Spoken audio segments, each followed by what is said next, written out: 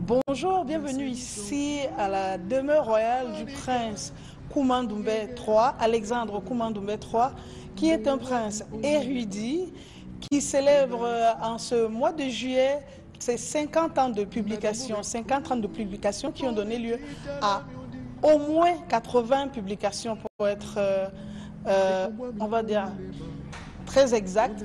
80 publications, ce qui n'est pas donné, je dirais, même pour les footballeurs qui marquent généralement un but ou un 8 et demi par match, les plus efficaces ne pourraient se prévaloir d'un ratio aussi élevé. Alors, bonjour Prince Koumandoumbé et félicitations pour tout ce travail de 50 ans.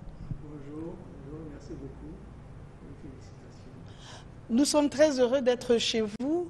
Euh, votre publication, la première, c'était très exactement le 6 juillet 1971 et c'était Le Monstre. Est-ce que vous pourriez nous évoquer cette première publication?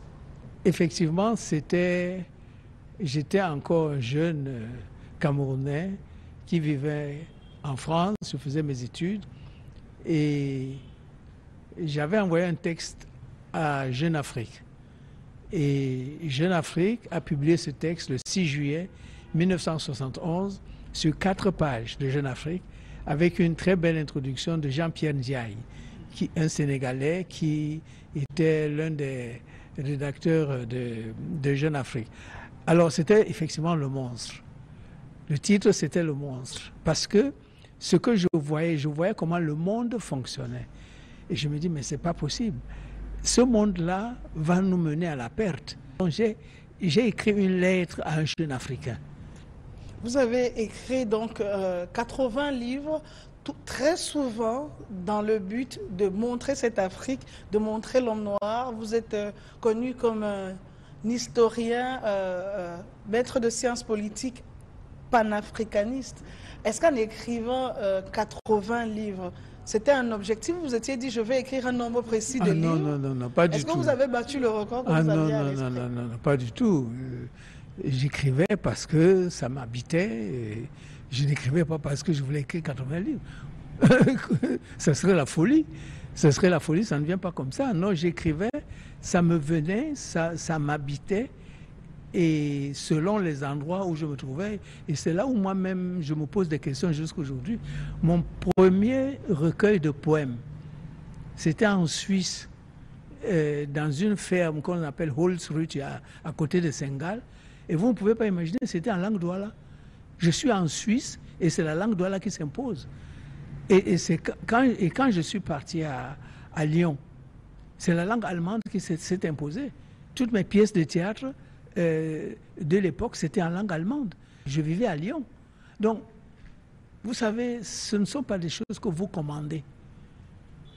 Et, quand vous les commandez vraiment, ça n'a pas de valeur. Et quand je vois aujourd'hui, quand je relis le Mumba de Zweit et le Mumba 2 que j'ai écrit en 1968, je relis ça aujourd'hui en 2021, je dis comment Comment Dieu m'a permis de voir les choses avec une telle clarté et, vous écrivez euh, sur la science politique, sur l'histoire, vous écrivez aussi, vous avez écrit même un livre d'amour, vous écrivez des poèmes. Oui, bien sûr. bien sûr. Vous pouvez nous parler de ce livre d'amour, qu'est-ce qui vous l'a inspiré? Mais quand vous venez sur cette terre, à partir d'un certain moment, d'abord il y a l'amour des parents n'est-ce pas, de vos frères et de sœurs, etc. Mais après, il y a, il y a toutes ces rencontres. Alors, toutes ces rencontres, mais vous les saisissez quelque part. Moi, je les saisis par la plume. Euh, par la plume. Et il y en a tellement de, ce que j'ai pu écrire. Mais ça aussi, c'est une chance. Si on vous demande parmi vos 80 euh, publications, d'en citer les cinq plus importantes, les cinq plus impactantes. Quand on sait que vous avez écrit sur Hitler, vous avez écrit sur euh, euh, les questions Douala, vous avez écrit La belle épopée Massomandala, vous avez remis ça au goût du jour, vous avez écrit cette histoire d'amour, vous avez écrit euh, beaucoup d'autres choses, vous avez fait parler des gens même. Si on vous dit cinq publications, juste cinq, les plus impactantes, de votre point de vue En quelle langue? Quelle que soit la langue, choisissez-en juste cinq. Bon, en allemand, les sur les 13 livres que j'ai publiés, il y a Ich klopfte an deine Tür. J'ai cogné à ta porte, en traduction, pour dire mon expérience avec l'Allemagne, avec le peuple allemand, avec les institutions allemandes, en tant que noir. Parce que moi, noir, j'étais le seul euh, euh, Africain au lycée. Euh, un lycée de plus de 1000 élèves, j'étais le seul noir. Bon, jusqu'au baccalauréat. Bien sûr, il y a le livre Hitler voulait l'Afrique en langue française. Hitler voulait l'Afrique qui a secoué quand même à l'époque. parce que tous les grands spécialistes disaient que Hitler était un raciste et ne voulait pas aller en Afrique. Bon, et moi, avec les documents que j'ai découverts, j'ai vu que c'était complètement faux. C'est tout simplement parce que depuis la fin de la Deuxième Guerre mondiale, les gens n'avaient pas ouvert les documents de Hitler parlant de l'Afrique. Bon, ça, ça a beaucoup secoué. Bon, maintenant, euh, vous avez le livre phare, de, je crois, la maison d'édition Afrique à venir, ce livre phare qui est euh, euh, L'Afrique s'annonce au rendez-vous, la tête haute. Parce que c'est-à-dire, il faut arrêter les mensonges. On nous a appris tellement de mensonges à l'école. Aussi bien à l'école ici qu'en Europe, aux États-Unis, etc. Et il faut arrêter ces mensonges-là. Et c'est pour ça que j'ai écrit ce livre, qui a beaucoup de succès. L'Afrique s'annonce au rendez-vous. Mais aussi, 50 euh, ans déjà, quand ce sera enfin votre indépendance-là parce qu'après 50 ans, est-ce que vraiment les pays africains sont indépendants? Donc, il y a, a bon, en, en langue douala, euh, vous avez deux livres importants, Masomandala, Jekilan Jamba et Nono. Parce que je vais dans les archives euh, européennes et je collectionne les comptes qui ont été enregistrés avant, c'est-à-dire dans les années 1900, 1890, jusqu'à la Première Guerre mondiale. Et ce sont ces versions-là que moi je prends pour faire des livres, où j'ai fait le livre de Masso Mandala. Donc ce n'est pas une version d'aujourd'hui, c'est une version de 1890. Mais vous avez aussi Dimbambela Sawa. Et Dimbambela Sawa, c'est un, miracle. Un jour, je vais à, Strasbourg et je vais chez le pasteur M. Linger. Et en partant, il me dit, bon, écoute, euh, Regarde, prends ces cahiers-là, ce sont euh, mes pasteurs au Cameroun qui avaient écrit tout ça. Et je vois des documents qu'ils avaient remis au pasteur Mlinger, des documents écrits en 1920-1930. Tout en langue douala. C'est-à-dire vraiment le cœur même de la culture, de la culture douala. Alors, quand j'ai lu ces cahiers écrits à la main par nos parents, je me suis dit, mais est-ce que j'ai le droit de les publier? Mais après plus de 30 ans, je me suis dit, c'est une responsabilité. il faut qu'on sache ce qu'ils ont écrit. Parce qu'on ne peut pas mettre ce genre de livre entre les mains de n'importe qui. Bon, mais j'ai décidé que, ok, je publie, et c'est en langue douala, euh, d'Imbambelasu. Bon, euh, quoi encore? Et ça a été traduit en Ewondo. Ça a été traduit en Ewondo et en français, euh, enfin, je veux dire Jacqueline Jamba non, non. Ça a été traduit en Ewondo. Bon, maintenant, euh, je crois que nous avons pu rendre un vrai service au peuple camerounais. Parce que quand je suis rentré de l'université de Lyon, où j'enseignais, euh, encore euh, jeune enseignant, je suis venu à, à à Yaoundé 1. J'ai vu que tous les collègues continuaient à citer les Blancs dans leurs cours. J'ai dit, mais c'est quoi cette histoire-là? À, Lyon, ce sont les professeurs, c'est-à-dire les savants français qu'on cite, etc., ou alors européens, et je viens à Yaoundé, et c'est la même chose. C'est qu'il y a quelque chose qui ne va pas. J'ai donc mis sur pied une, une, équipe pluridisciplinaire, et nous avons sillonné tout le Cameroun pour interroger, c'était entre 1981 et 1986, pour interroger les vieux qui avaient 90 ans, 100 ans, en leur disant, mais Pardon, dites-nous comment c'était chez vous avant que les Blancs n'arrivent ici. Bon, aujourd'hui, euh, je suis heureux que, avec l'aide de la Fondation Gerda Stiftung, nous avons publié maintenant 18 volumes avec CD de ces volumes-là en français et 12 volumes en anglais et 3, volumes en, en allemand. Mais on n'a pas fini. Il nous faut encore 22 volumes et nous sommes en train de chercher l'argent pour que ces 22 volumes existent. Et ce qui est important, c'est que ce que ces vieux ont raconté, chacun a parlé dans sa langue. C'est-à-dire que euh, vous allez à l'ouest, le gars il parle en Menjumba ou en, Yemba, euh, ou en, bon, vous allez au nord en Fufulde, euh, vous allez au sud en, Newondo ou en Boulou ou, en, en etc. Donc, nous avons maintenant une vraie bibliothèque du Cameroun, de ce qui s'est passé, mais pas seulement en histoire, hein, même en médecine, en économie, en, euh, relations commerciales internationales, etc.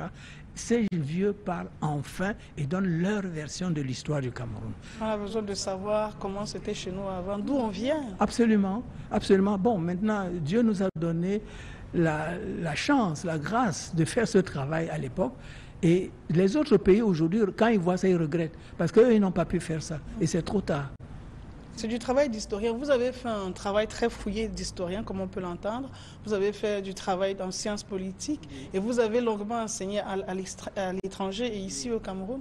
Pourtant, votre, euh, votre œuvre qui est assez prolifique, donc finalement, euh, est très très peu ou pas connue au Cameroun. Comment vous vous expliquez cela? Ouf, moi j'écris, hein, que les autres aussi fassent leur travail.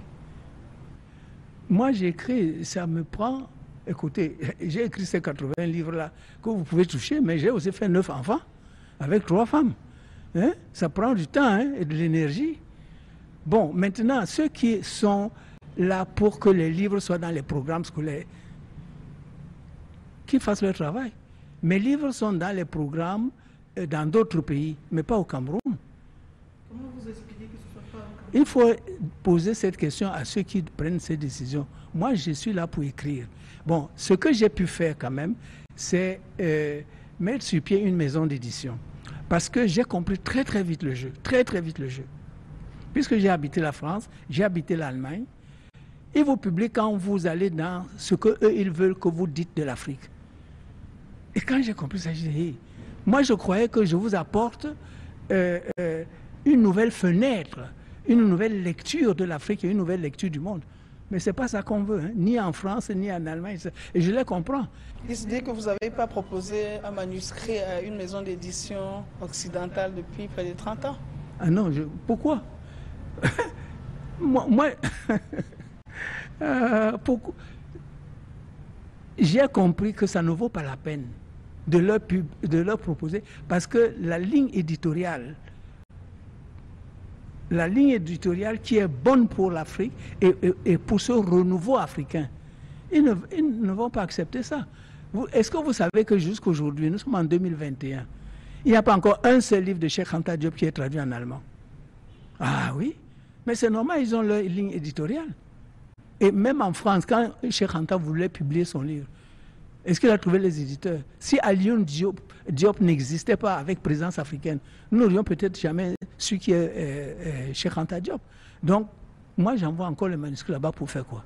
Mais oui, mais vous êtes trouvé dans une situation où Jean-Paul Sartre vous a publié alors que les Allemands ne vous publiaient pas. Oui, effectivement, ça c'était en 73. Quand euh, Jean-Paul Sartre venait souvent à Lyon, à la Bourse du Travail, avec Simone de Beauvoir, et c'est là qu'il a compris que le travail que j'ai fait sur Hitler, les Allemands ne voulaient pas entendre parler de ça. C'est-à-dire tout ce que Hitler avait programmé pour l'Afrique. Alors, ce qui est très intéressant, c'est que la revue du Parlement allemand, Das Parlament, m'avait commandé une étude en payant beaucoup d'argent. C'était à l'époque plus de 5000 Deutschmark. Que c'est une première que je leur donne. Je leur ai donné ils ont lu, mon tout payé. Hein. Ils ont refusé de publier. Alors Sartre, alors, euh, comprend ce qui s'est passé. Il me dit, est-ce que tu peux me faire bon, un bon condensé en, langue française? J'ai dit, oui, je peux. Et c'est ce que j'ai fait. Il a publié ça dans les temps modernes de, euh, en 1973. Bon, non, c'est-à-dire qu'il faut aussi bien dire ici que quand on parle de l'Europe, des Blancs, etc., il faut faire très attention. Il ne faut pas dire les Blancs. Parce que vous avez, c'est-à-dire ceux qui sont assis dans les institutions pour nous écraser, mais vous avez aussi des gens là-bas qui disent non, ça suffit comme ça. Et Jean-Paul Sartre était euh, l'un de ceux-là. Et c'est pour ça qu'il m'avait publié, il avait publié Mongo Betty. Et après, il a permis à Mongo Betty de publier la revue Peuple Noir, qui n'existait pas encore, de publier ça grâce aux presses de, des temps modernes. Et si on parlait des prix, vous en avez reçu de nombreux des distinctions à travers le monde. Il y en a qui vous ont touché particulièrement, dont vous aimeriez parler? Un jour, je reçois euh, un, courrier qu'il faut que je vienne parce qu'il veut m'introduire dans le Hall of Fame, euh, c'est-à-dire dans, dans, dans, un panthéon de célébrité mondiale. Je dis, est-ce que c'est un joke? Bon, mais après, j'ai compris que non, c'était sérieux. Bon. C'était en 2000, je crois 2013. Mais moi, j'allais aller à Atlanta, comment? J'avais pas l'argent. J'avais pas l'argent. J'ai demandé à plusieurs ministres à l'époque, pardon, donnez-moi l'argent pour que j'aille chercher le prix là. Chacun a dit qu'il n'a pas l'argent. Il a fallu que le président bien entende ça et que lui, il, c'est-à-dire qu'il libère l'argent tout de suite tout de suite, en deux, trois jours, j'ai eu l'argent. Et il a demandé à l'ambassadeur à Washington de s'occuper de ça, de m'accompagner, etc., pour prendre le prix. Et un an après, il m'appelle encore pour me décorer encore. Et ça, ça m'a beaucoup touché parce que je dis que moi, je suis dans mon, dans mon village à Bonabéry. Qui me connaît là-bas? D'abord, les gens à Bonabéry ne savent même pas ce que je fais. Pour le Cameroun, je, ça ne me disait plus rien, puisque je sais que le Cameroun m'a ignoré. bon, mais après, après, ils se sont quand même rattrapés.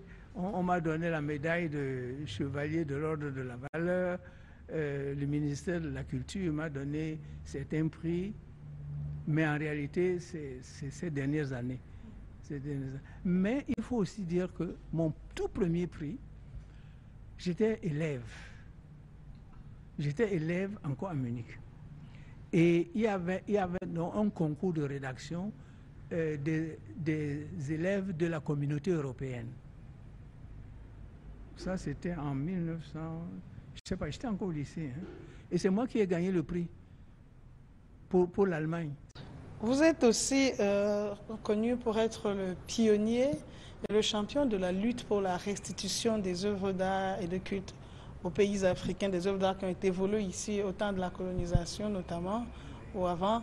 Euh, vous vous êtes beaucoup battu pour cela, notamment pour euh, le tanguay de votre grand-père, Kouma Mbappé, qu'on connaît sous le nom de Locke Priso, dont on a une copie juste là. Voilà, un tanguay qui est toujours en Allemagne, à Munich. Et aujourd'hui, vous voyez toutes ces œuvres, ce combat est devenu mondial et les œuvres commencent à retourner sur le continent. Qu'est-ce que cela vous inspire? Oh, Je dis d'abord vraiment merci à mes pères et mes mères euh, de m'avoir secoué pour dire que, attends, cherche là. Je ne savais pas. Moi, j'étais au lycée Marie-Thérèse à Munich. De là, on pouvait euh, aller au musée ethnologique de, de Munich où il y a le tanguay. On pouvait y aller à pied peut-être en marchant pendant 20 minutes. Mais moi, je ne savais rien. Je ne savais pas qu'il y avait le tanguay là-bas. Donc, c'est un jour que je découvre que, oui, il y a le tanguay de mon grand-père qui est enfermé à, à Munich. Et j'ai donc fait les recherches. J'ai fait les recherches pour savoir ce qui s'est passé. Je savais tout simplement, comme tout le monde, que bon, Locke Priso a refusé de signer le traité avec les Allemands en 1884, mais je ne savais pas plus que ça. Alors, c'est là où je découvre que, effectivement, il a insisté, il a dit que lui ne veut pas. J'ai trouvé les documents allemands que Locke Priso était l'ennemi le plus juré de la cause allemande parce qu'il ne voulait pas de colonisation chez lui. Ah.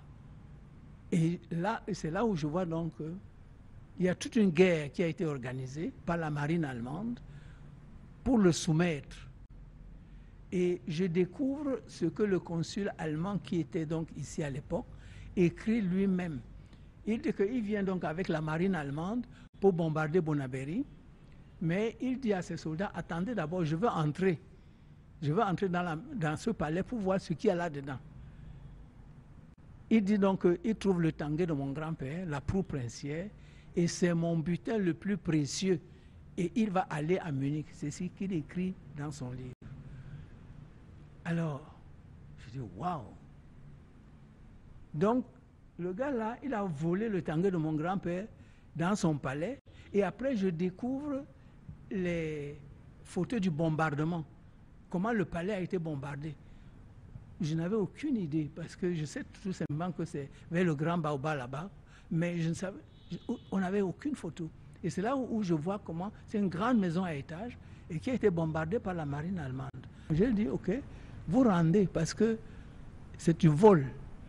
Et ça, c'est avec la violence que vous avez pris. Ce n'est pas un cadeau qu'on vous a donné. Bon, au début, j'étais un peu, ils m'ont considéré comme un écervelé, euh, quelqu'un qui dérange, euh, surtout euh, qui, qui, est contre la cause allemande, etc.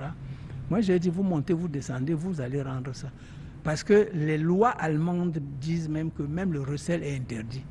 Je suis allé chercher les lois allemandes de 1840, 1880 qui était donc en vigueur à l'époque.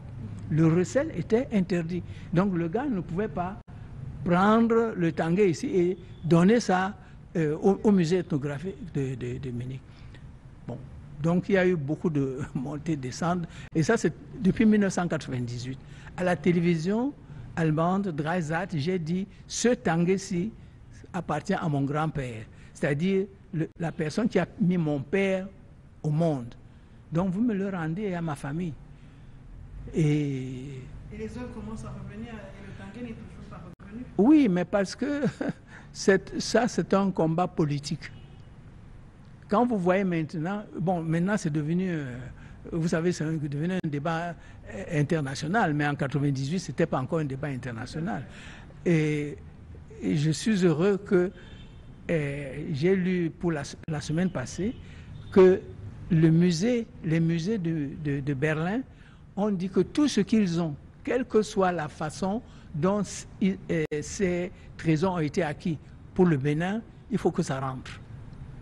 Donc les bronzes du Bénin vont rentrer. Mais parce qu'il y a le Nigeria là derrière, avec les négociations politiques, bon, le Cameroun n'a pas que le Tanguay là-bas. Il y a beaucoup, beaucoup de choses que j'ai découvertes.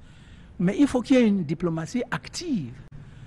Et cette diplomatie ne doit pas être une diplomatie où il n'y a que les fonctionnaires qui parfois ne comprennent pas grand-chose là-dedans parce que ce n'est pas parce qu'on vous a nommé par décret que maintenant, telle ou telle question, vous êtes un spécialiste. On va terminer cet entretien sur cette question, Prince. Vous avez coutume de terminer vos propos en disant moi, j'ai fait ma part. Ah oui, oui. Qu'est-ce que vous mettez dans, dans, dans, ce bout de phrase Pourquoi vous répétez ça sans cesse? Parce que c'était difficile. Hein c'était difficile. C'était difficile parce que si moi, moi j'ai eu l'occasion euh, d'être quelqu'un qui peut louer les œuvres françaises, être dans les institutions françaises. J'ai eu l'occasion d'être, parce que je suis aussi germaniste, et, j'ai fait mon lycée là-bas, mon habilitation là-bas, en Allemagne. Donc j'aurais aussi pu être un chantre du, germanisme euh, ou de la germanité. Mais ce n'est pas ce que j'ai fait. Donc, parce que je n'ai pas fait ça, ça a été très dur. C'était toujours des combats, parfois sans merci. Parce qu'il fallait garder cette ligne éditoriale. Donc, j'ai pu. C'est une grâce.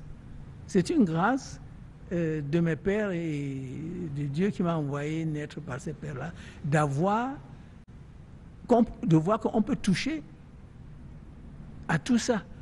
Bon, mais j'ai dit encore une fois que je n'ai pas fait que ça. J'ai fait grandir neuf enfants. Et je crois que je n'ai pas honte quand je les vois aujourd'hui.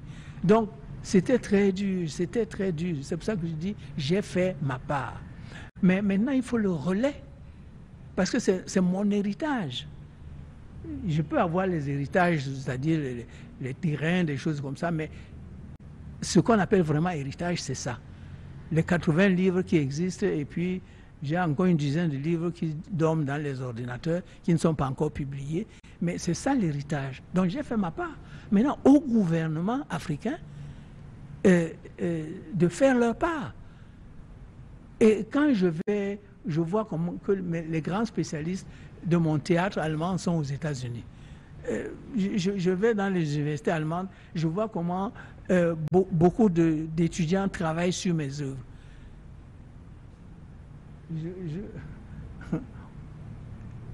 80 livres et aucun au programme scolaire au Cameroun. Oh, je ne sais plus si c'est la tristesse. Je dis, j'ai fait ma part. Euh, et mes pères et mes mères ont vu ce que j'ai fait. Et je n'ai pas failli, je pense, je peux, je peux dire ça. Mais encore une fois, ce n'est pas la grâce. Parce que comment, comment est-ce que j'ai pu rester avec la vigueur, avec la santé pour pouvoir faire ça? Ce n'est pas la grâce. Bon, maintenant que les autres fassent, ceux qui doivent faire le relais. Le relais, parce que je n'ai pas écrit encore une fois pour l'Afrique. J'ai écrit, je crois, pour euh, l'humanité et pour que je puisse dire un peu aussi attention à la dérive. Attention à la dérive, nous avons besoin d'un monde différent, moins de mensonges et plus de courage pour construire ensemble un monde où chacun peut vivre et sans que les uns soient là pour écraser les autres. Merci infiniment, Prince, pour cet héritage magnifique que vous laissez à l'humanité. Merci beaucoup pour votre. Merci de rester sur la CRTV. Nous parlions donc au Prince Koumandoumbe III, un érudit qui a produit de nombreuses publications, mais surtout 80 livres qu'on peut trouver et sur lesquels on a intérêt à se pencher. Merci infiniment.